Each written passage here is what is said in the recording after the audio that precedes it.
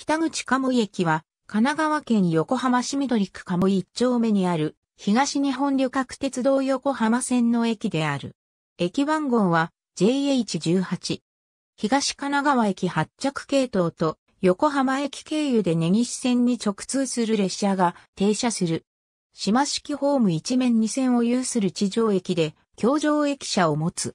長津田駅管理の JR 東日本ステーションサービスによる業務委託駅。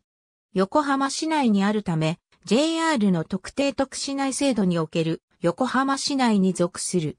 早朝時間帯は遠隔対応のため改札係員は不在となり、一部の自動券売機のみ稼働している。2020年度の1日平均乗車人員は29,426人である。近年の推移は下記の通り。晴れた日には富士山を望むことができる。駅から鶴見川を挟んで北側の続き区南部に工場が多数あり、駅と人道橋で連絡している。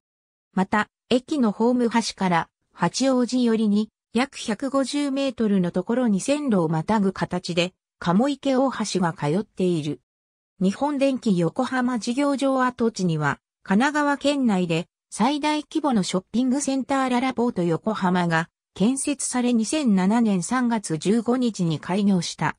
横浜市営バス、横浜交通開発、神奈川中央交通が当駅を発着する路線バスを運行している。このほか、鴨池大橋停留所と鴨井橋停留所も利用可能な位置にある。駅付近を神奈中1系統、市営バス124系統が通るが駅には経由せず、隣の鴨井橋停留所を利用する。小机駅との駅間距離は 3.1km で、これは横浜線では一番長い。注釈出店。ありがとうございます。